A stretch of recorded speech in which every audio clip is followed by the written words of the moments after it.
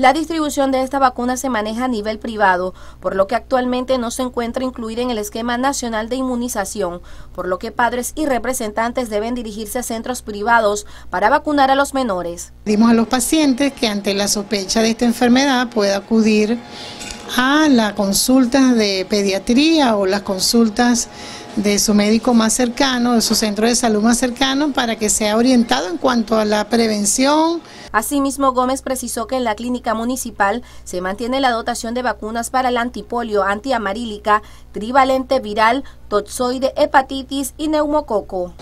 No, nosotros tenemos la dotación que semanalmente nosotros colocamos, a veces nos llega más de, lo esperado y en la medida que vamos colocando, ahorita baja un poco la afluencia de la vacunación porque estamos en un proceso de vacaciones y mucha gente no se encuentra en la zona, comienzan a viajar con sus hijos. Gómez dio a conocer que semanalmente esta clínica está recibiendo más de 100 vacunas para ser aplicadas a la población de lechería.